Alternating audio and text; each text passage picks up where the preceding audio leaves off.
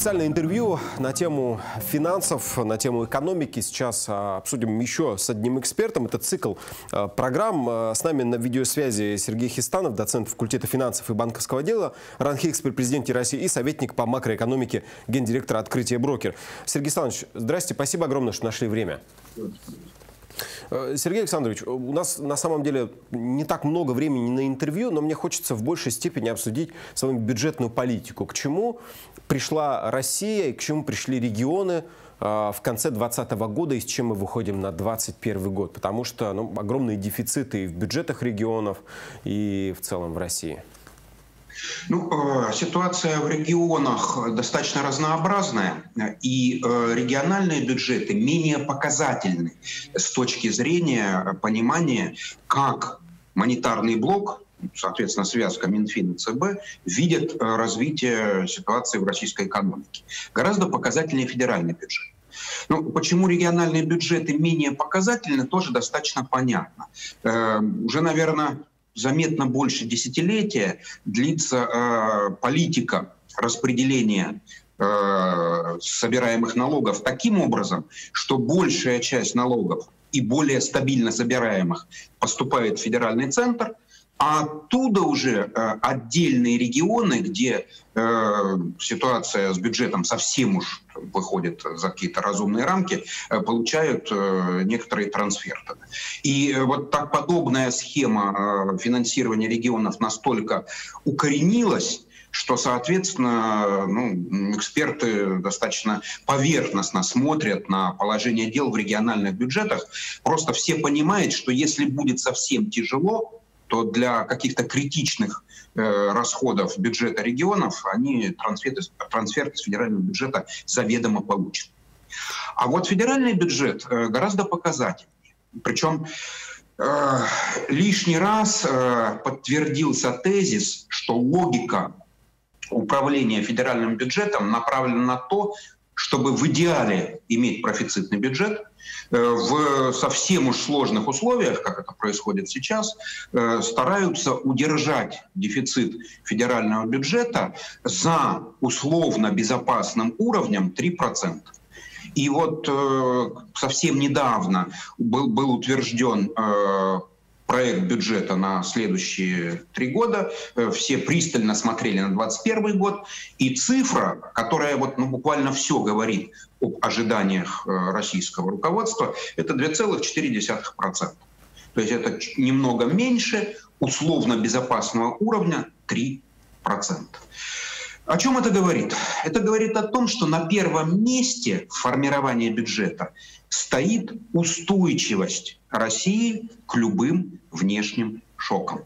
Раз. И второе, о чем говорит э, такой вот низкий дефицит бюджета, это то, что э, пресловутые черные дни, к которым вот мы уже, можно сказать, более десятилетия готовимся, они с точки зрения э, тех, кто принимает решения, еще впереди. Ну да, и Сергей Посмотри. насколько же я понимаю, что фонд национального благосостояния тоже никто не стал распечатывать и там покрывать все дефициты ну, бюджета. ФНБ используется, но в сравнении с масштабом проблем в экономике используется очень и очень скупо. Вот, вот буквально точечно. Э, если посмотреть на то, что делали другие страны, неважно, из группы развитых стран, из группы развивающихся стран, то э, Россия, Россия по сравнению с другими странами тратит аномально мало. Э, возникает вопрос, почему так? Дело в том, что сама идея накопления резервов подразумевает, что когда наступает черный день, эти резервы используются. Иначе в какой смысл их накапливать?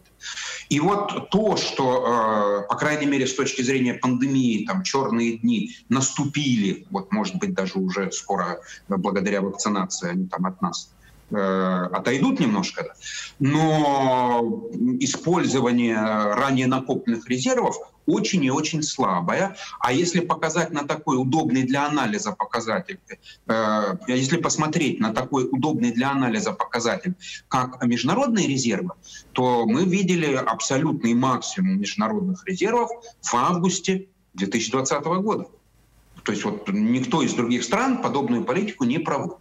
Э, единственная разумная причина, которая объясняет, почему вот так странно, необычно э, ведут себя эти параметры, это очень простое допущение, что мы активно готовимся к неким внешним шокам, Неважно, будь то снижение цен на нефть, будь то там усиление санкционного режима, но на первом месте стоит надежность и устойчивость.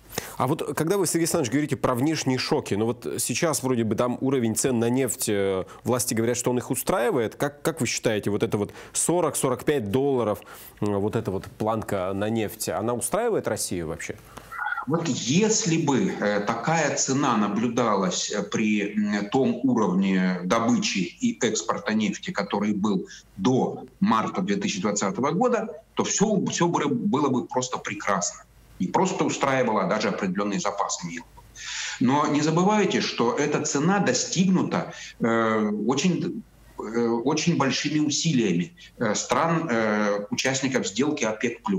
Ну, а де-факто даже многих других стран, которые формально к сделке не присоединились, но добычу тоже сократили.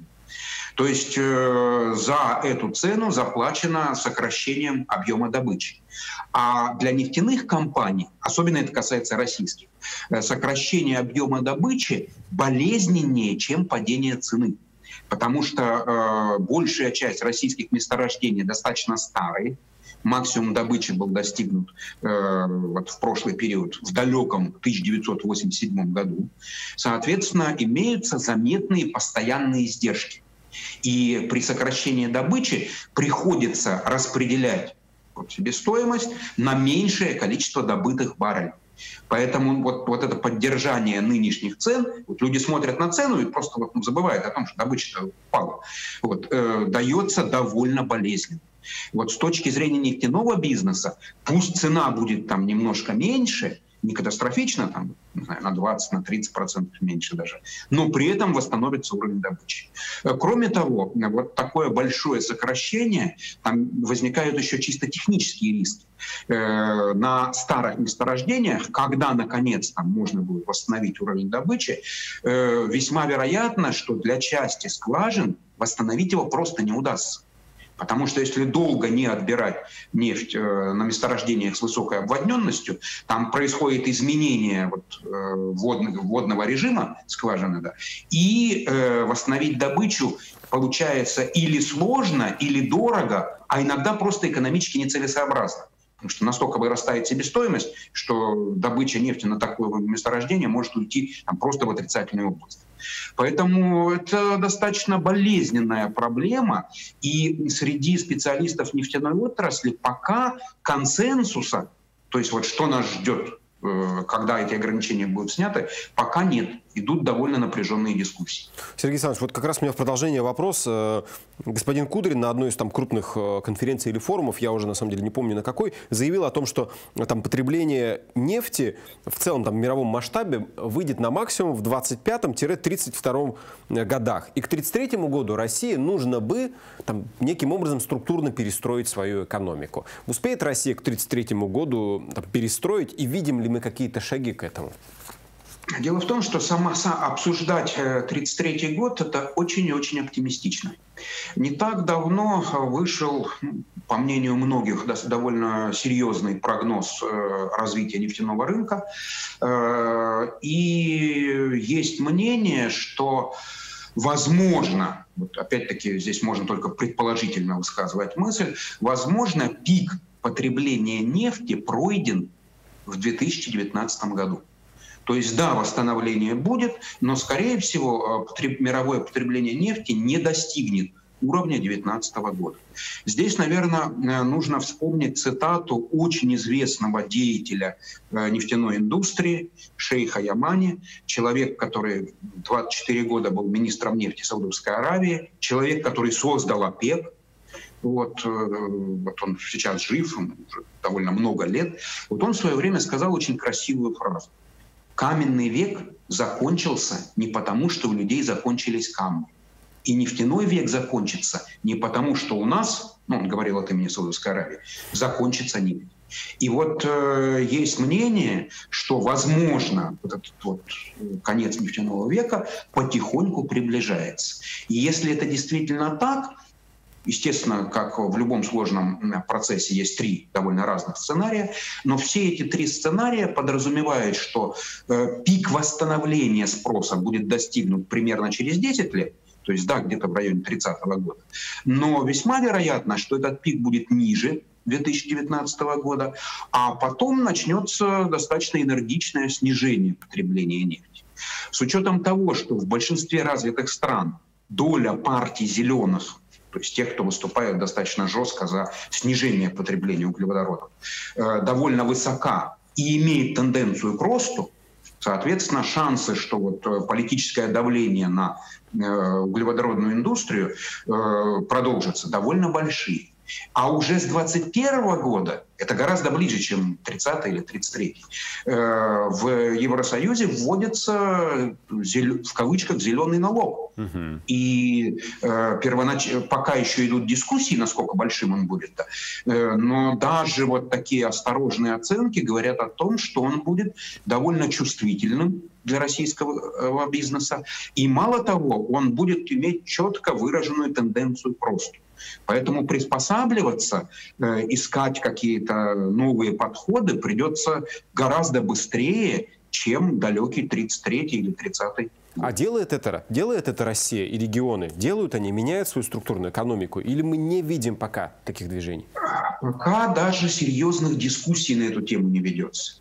Дело в том, что смена структуры экономики — это, во-первых, медленно, во-вторых, довольно болезненно. Вот э, в экономической истории есть относительно недавний пример, когда целая страна э, вот, заметно изменила свою структуру своей экономики. Это Голландия. Вот, э, в учебнике вошло даже выражение «голландская болезнь». Это ситуация, когда добыча природных ресурсов, ну, правда, в Голландии это была не нефть, а газ, э, приносила настолько высокий доход бюджету, что это привело к росту стоимости национальной валюты настолько, что в стране стало выгодно заниматься только там, добычей газа, продажей, обслуживанием этого процесса и всем, что направлено на внутреннее потребление. Вот если помните пресловутые тучные годы, то некую аналогию с российской экономикой можно увидеть вот прям довольно четко. С оговоркой, что в Голландии это был газ, а у нас, соответственно, была в основном нефть. И когда, соответственно, месторождение было исчерпано, оно и сейчас существует, но сейчас там добыча уже совершенно невелика. Вот э, Голландии пришлось болезненно перестраивать свою экономику. И маленькая страна, с очень низким уровнем коррупции, с очень высоким уровнем развития общественных институтов, потратила на эту перестройку ну, примерно от 10 до 15 лет. И было это довольно тяжело. Поэтому, конечно, думать об этом надо, конечно, перестраиваться надо, но наивно думать, что это будет легко и просто. Да. Сергей Александрович, у нас буквально пару минут осталось. Мне хочется вот с упором на регионы спросить. Вот сейчас многие регионы столкнулись с дефицитом. Кто-то, понятно, дотационные регионы, там, понятно, получают трансферты из бюджета. Пермский край тоже получил несколько миллиардов из бюджета. Но у нас активнее заговорили там не только о бюджетных коммерческих кредитах, но и об облигациях. Об этом говорили и, там, и 5, и 6 лет назад. Но сейчас об этом активнее, и сам губернатор об этом заявил говорил, будут они сейчас привлекательные облигации, ну, в частности, Пермского края? Скорее, скорее всего, многие регионы будут активно э, развивать э, облигационные займы по двум причинам. Во-первых, э, потому что федеральный центр все скупее и скупее будет выделять трансферты. А во-вторых, э, ситуация на э, долговом рынке с точки зрения процентных ставок сейчас как никогда благоприятна. Весьма вероятно, что мы увидим некоторый рост инфляции, как следствие некоторый рост процентных ставок. И поэтому тем регионам, которые вот активно подумывают о э, облигационных программах, наверное, стоит поторопиться. Ну, то есть они будут востребованы, Пермский край? Ну, вот вообще, как вам кажется? У нас вроде бы там долг небольшой, э, регион да, довольно-таки сейчас, там. Сейчас э, ситуация на долговом рынке так, такова, что любые ценные бумаги э, с более-менее нормальным эмитентом, ну, просто из-за того, что процентные ставки очень низкие, интерес банков к привлечению крупных сумм достаточно слабый. Вот э, любые ценные бумаги с э, нормальным соотношением э, доходности и рисков, скорее всего, будут достаточно востребованы. Окей, спасибо огромное. Сергей Хистанов, советник по макроэкономике, гендиректор «Открытие брокер», был с нами на видеосвязи. Мы обсуждали экономику и финансы.